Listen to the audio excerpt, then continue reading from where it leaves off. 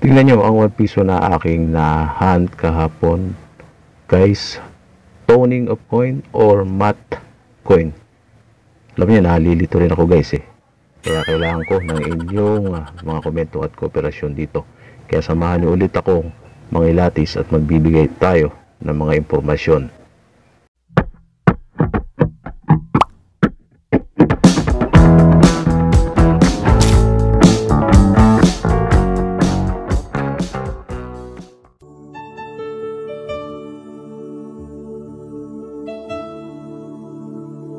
Okay guys, so may palang magpapasalamat na ako no. Tapusin niyo po ang video para sa inyo rin po ang impormasyon nating bibigyan ngayon at huwag kalilimutang mag-subscribe at paki-on ng notification bell para updated at mag-join, join, join sa ating membership.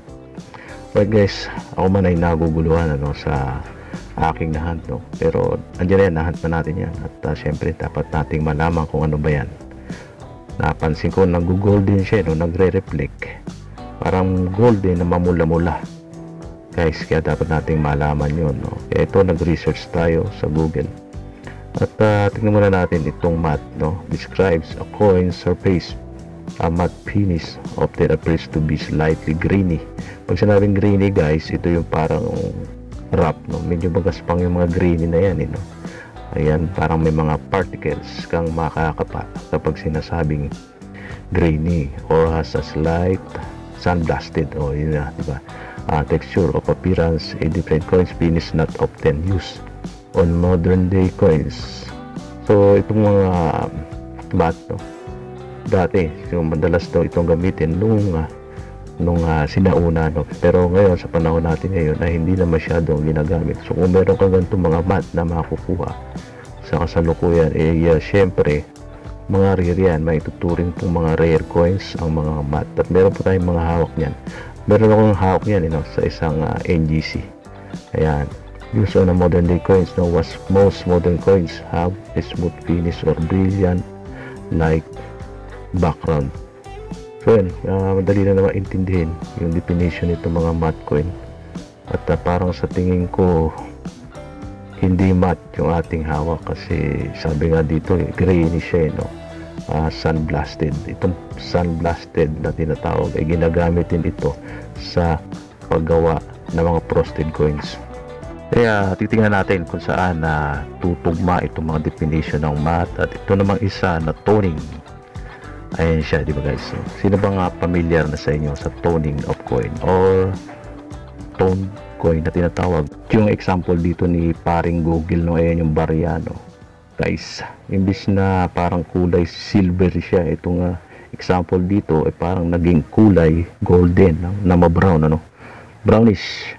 Yan. Toning on a coin is the chance I mean change of color brought about through oxidization which forms a thin layer of tarnish on the metals. Ayan. Toning no Ibig sabihin, oxidation. Ano ba yun? Pag sinabing oxidation, di ba ano yan? Chemical reaction. Parang gano'n. No? Kaya nagkaroon ng pagbabago habang ginagawa itong mga coin na to. Di ba? Tarnish on the metals eh, surface. Coin toning can vary. Yan na, uh, ano ba yan? Aesthetics, tama ba yung pronunciation? Aesthetics and the dust can alternately add or detract from a coin's value. So, hindi na natin na ita-translate yan sa isa word by word. Mahirap eh, no? Hindi naman tayo translator. Pero yun na nga, uh, yun meaning to say, uh, sa madaling sabi, di ba, uh, oxidation, oxidization, ibig sabihin yan, chemical reaction. Ganun na lang, no? make it simple na lang natin. Mahirap kasi magpaliwanag eh, no? So, hindi naman tayo expert yan at uh, kumukuha lang din tayo ng mga impormasyon dito kay paring Google. So, yun, chemical reaction yan, meaning to say, no? Mas madali nga sabihin. Kaya nagkaroon ng coin toning. Kaya yung ating coin na yun, parang sa tingin ko eh, tumutugma sa pagiging tone coin. Ayan.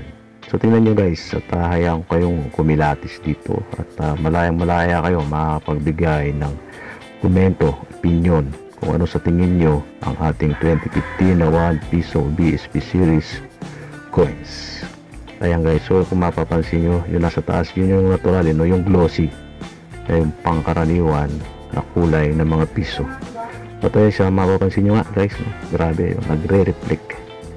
Ah, minsan na may reflection siya na lumalabas parang mapula. May portion na ma-brown at madilaw. Ayan siya.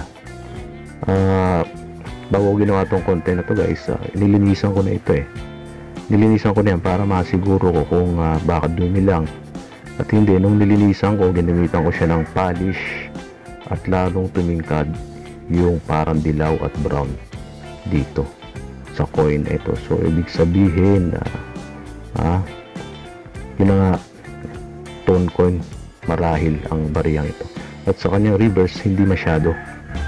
Pero meron din kahit pa paano eh. Yun, may reflection siya na may dilaw-dilaw at konting pula. Ayan, di ba? Kikita nyo naman yung at yung isang coin na common eh pag ginanyan mo wala eh kikintab lang. Ah, compare dito sa ating ah, sabihin na natin, i-claim na natin na ito po ay ah, tone coin. At uh, ibig sabihin pag sinabing tone coin ito po ay error at hindi po siya variation. Yung uh, math ay uh, masasabi nating variation yun kasi sinadya yun eh.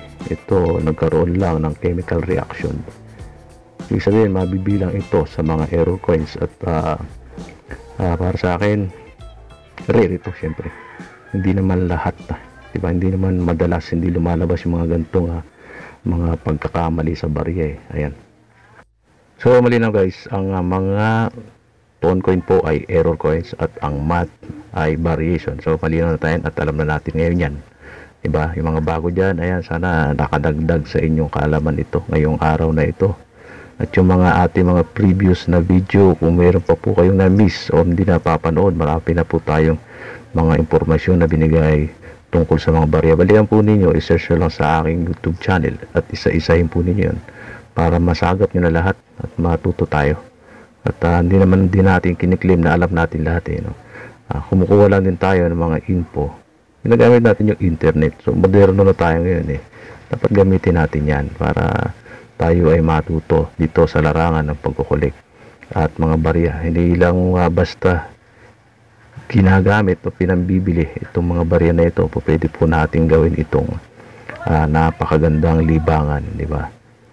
Alright guys ayun na po. Para sa ngayong araw maraming salamat sa inyo. Huwag kalilimutan mag subscribe at i-on ang bell para updated kayo. God bless you all guys. Kita kits tayo sunod